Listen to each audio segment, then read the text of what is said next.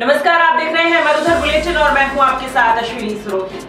उत्तर प्रदेश के गोरखपुर में सैनिक स्कूल खुलेगा। इसके लिए सोमवार को सरकार ने अपने बजट में 90 करोड़ रुपए का प्रावधान किया है। इसके अलावा लखनऊ के सरोजनी नगर में स्थित शहीद कैप्टन मनोज कुमार पांडे सैनिक स्कूल में 1000 लोगों की क्षमता वाले ऑडिटोरियम का निर्माण कराया जाएगा। इसके लिए 15 करोड़ रुपए का प्रावधान किया गया है। स्कूल की क्षमता को दोगुना करने की तैयारी भी योगी सरकार कर वित्त मंत्री ने सदन में कहा कि युवाओं को अनुशासन के साथ उन्हें सस्ती व गुणवत्ता परक शिक्षा दिलाने के लिए प्रदेश की योगी सरकार प्रतिबद्धता से काम कर रही है। अभी हाल ही में मुख्यमंत्री योगी आदित्यनाथ ने प्रदेश के हर मंडल में एक सैनिक स्कूल खोले जाने का प्रस्ताव रक्षा मंत्रालय को भेजा है। प्रदेश सरकार बालिका कैडेट के लिए 150 की क्षमता वाले छात्रावास का निर्माण कराएगा, साथ ही 1000 की क्षमता वाले ऑडिटोरियम का निर्माण कराया जाएगा।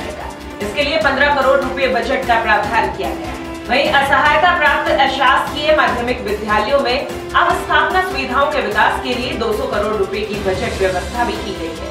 यूपी में रक्षा मंत्रालय द्वारा तीन सैनिक स्कूलों का संचालन अमेठी, झांसी, मैनपुरी में किया जाएगा, जबकि बागपत में सैनिक स्कूल का निर्माण प्रस्तावित है। इसके अलावा गोरखपुर में एक सैनिक स्कूल बनाए जाने के लिए नब्बे करोड़ रुपए का प्रावधान प्रदेश सरकार ने अपने अंतिम बजट में किया है।